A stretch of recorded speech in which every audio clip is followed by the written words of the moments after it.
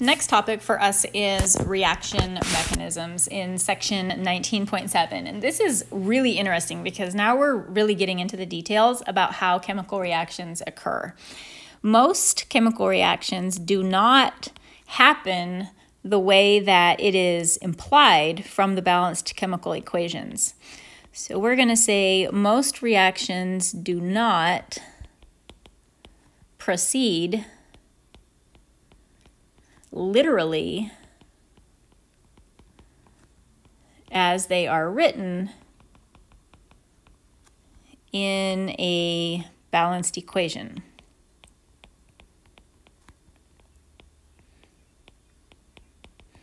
And the equation that I'm going to use as an example is 2NO plus O2 turning into 2 NO2. So the way that this equation is written, it implies that two NO molecules and an O2 molecule come together and react and form NO2. And that's not how it happens. So this is not, this right here is not an NO with an NO with an O2 reacting all at once. Think about what you just learned about collision theory. Think about um, activation energy and achieving that transition state. In order for a reaction to occur, we have to get our molecules um, lining up perfectly. They have to have a good collision, which means they have to have a perfect alignment with each other and they have to bring the right amount of energy into that collision. And so the odds of two molecules colliding perfectly are pretty slim. The odds of three molecules simultaneously colliding with the correct orientation and the right amount of energy is really, really slim. So it, it uh, for this particular reaction, this is definitely not how it happens. This reaction that we're looking at actually occurs in two steps.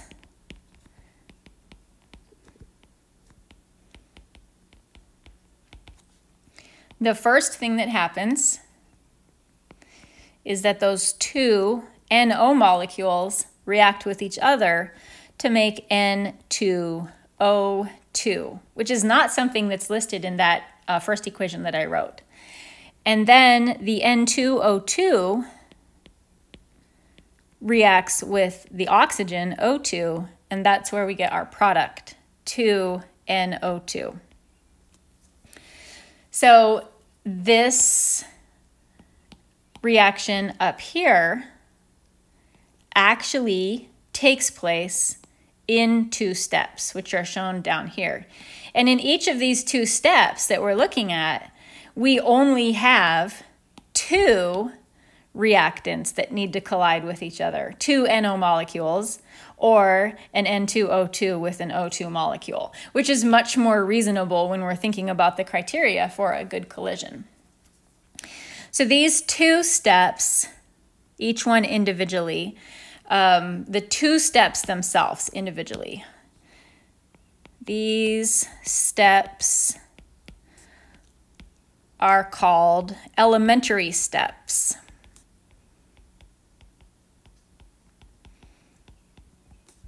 So the, the individual steps that make up an overall reaction are referred to as elementary steps. This up here we call the overall reaction.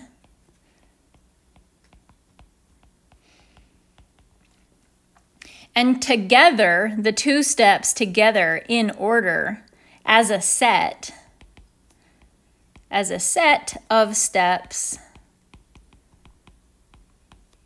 this is called the reaction mechanism.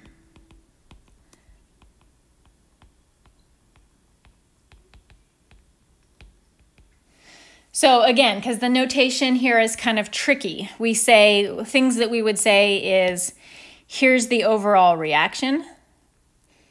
The reaction mechanism has a series of two steps. Each individual step is known as an elementary step. So here's elementary step number one. Here's elementary step number two. Together, the elementary steps are called the reaction mechanism that lead to the overall reaction. So let's talk about our reactants and our products. In this reaction, we have the reactant NO, which is right here. And we also have the reactant O2, which is right here. And we have the product NO2, which is right here. And then we have this other thing, N2O2 which is a product for elementary step number one, and it's a reactant for elementary step number two. Any molecule like N2O2 that is featured in the reaction mechanism but not in the overall reaction is called an intermediate.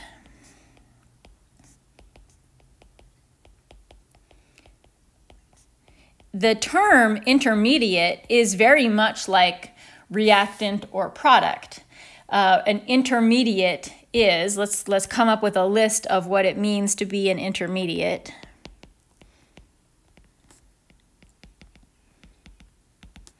It's not a reactant or a product.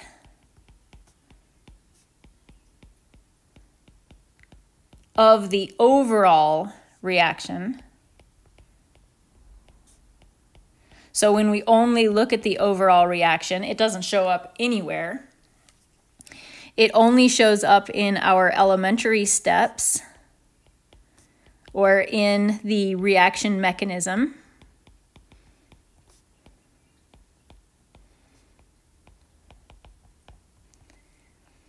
It is something that is formed and consumed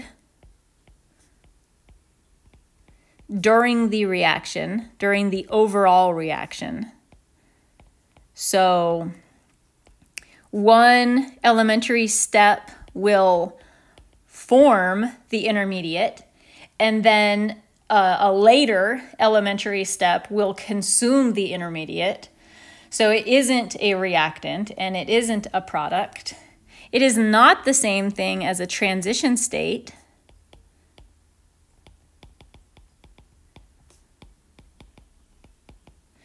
Uh, let's do kind of a refresher on what a transition state is.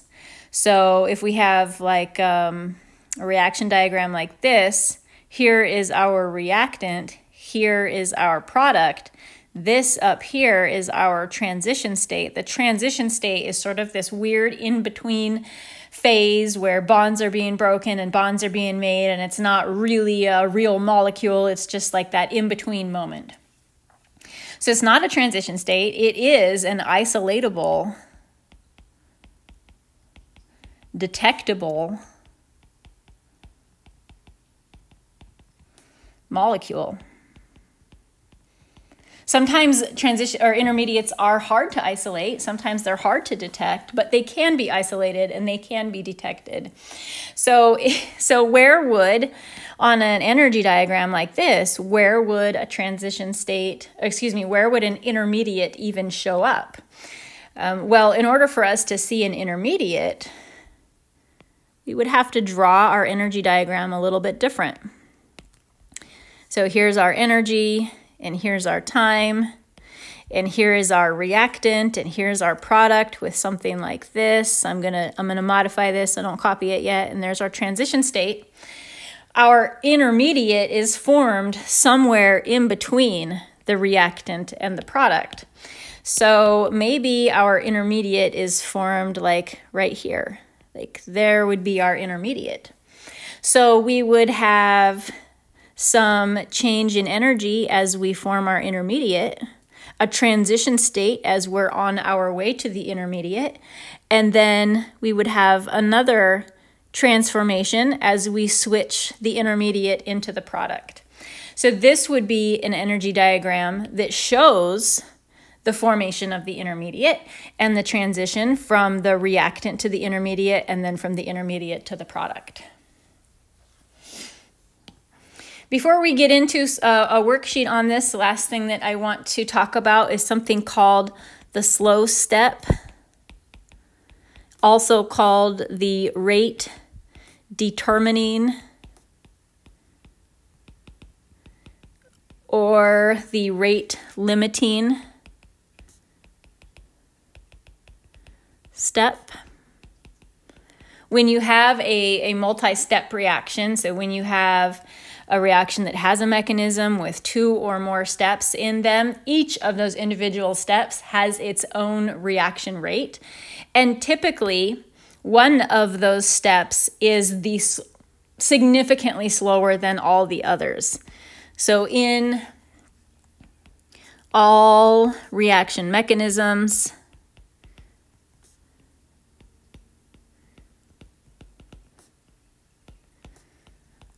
one elementary step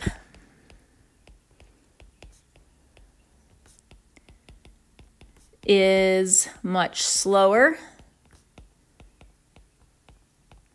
than the others.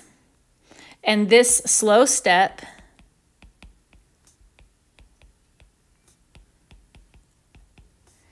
is what determines the rate of the overall reaction.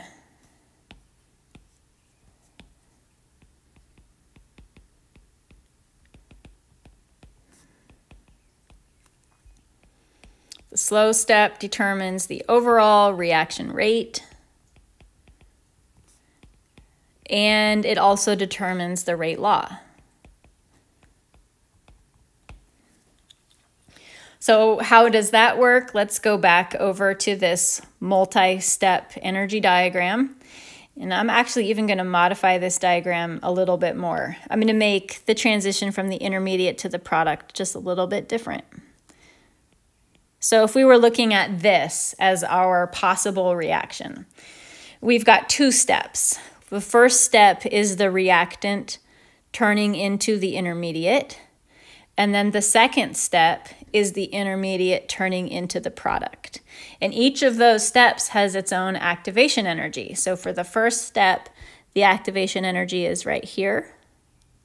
And for the second step, the activation energy is right here. And we could just, you know, thinking about what we know about energy, this is a lot. That's a really big amount of energy that needs to be absorbed to get up to that transition state. So it's pretty logical for us to make the assumption, it is an assumption, that going from reactant to intermediate is the hardest part of this reaction. And once it gets through this hard part, the rest of the reaction is going to be a piece of cake because the activation energy is much smaller and you're heading way downhill. Look at that's an exothermic reaction, whereas the yellow part is an endothermic reaction. Just all in all, that first step seems really nice and easy. Uh, no, the first step seems really, really hard. And so it would be logical for us to say this first step is going to be the slow step. This first step is what will dictate how fast the reaction proceeds overall. Because once the molecule gets here, the rest of it is going to happen comparatively really, really fast.